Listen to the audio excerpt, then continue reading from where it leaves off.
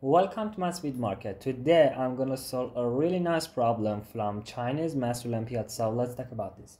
If I have 2 minus the square root of 3 to the power of x plus 2 plus the square root of 3 to the power of x, that's equal to 52.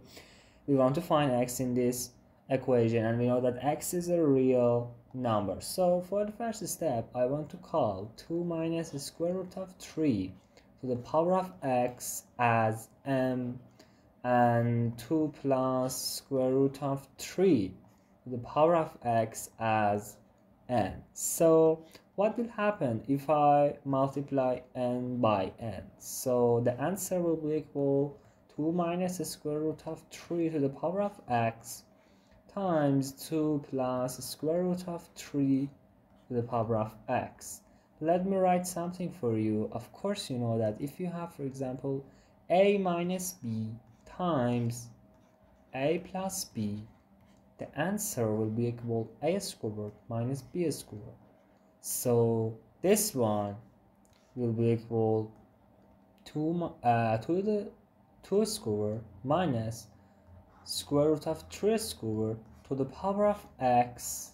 And of course the answer will be equal 1 to the power of x. And of course that's equal 1 so it means m times n equals 1 so I can write um, n equals 1 over m.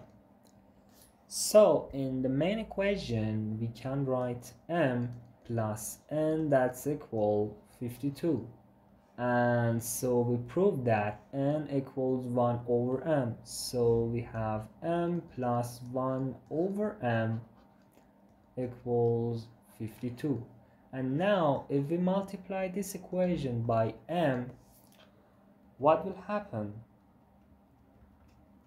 Our equation will be like m squared minus 52 times m um i think plus 1 yes that's right equals 0 so here we have a nice quadratic equation. In one of my videos i proved that if for example you have imagine ay squared plus by plus c that's equal 0 that's a quadratic equation and of course you know that a is not a is not equal 0 because if uh, a is equal 0 that will be very easy to uh, solve. So y will be equal minus b positive and negative square root of b squared minus 4 times a times c divided by 2 times a.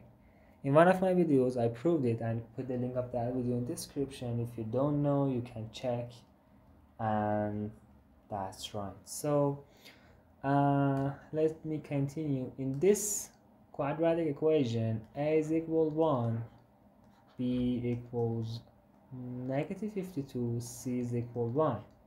So m will be equal minus minus b that's sorry minus b that will be equal minus minus 52 that's equal 52 positive and negative square root of b squared that's equal uh, 52 squared minus 4 times a times c that's equal 4 divided by 2 why? Because a was equal so the answer will be equal 52 positive and negative square root of 2700 divided by 2.